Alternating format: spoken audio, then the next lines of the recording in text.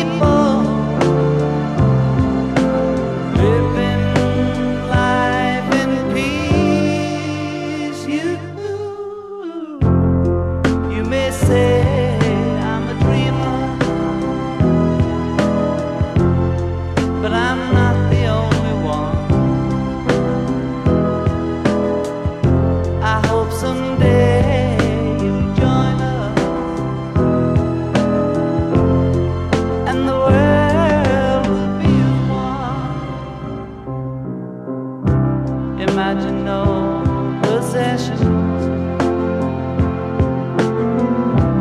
I wonder if you can. No need for greed or hunger. Our brotherhood.